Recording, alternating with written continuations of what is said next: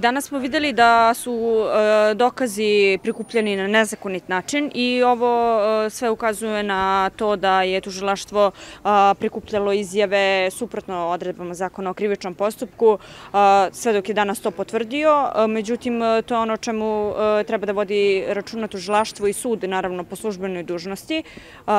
Vidjet ćemo kako će se dalje odigravati ovaj ceo postupak i u kom smeru će sve ići.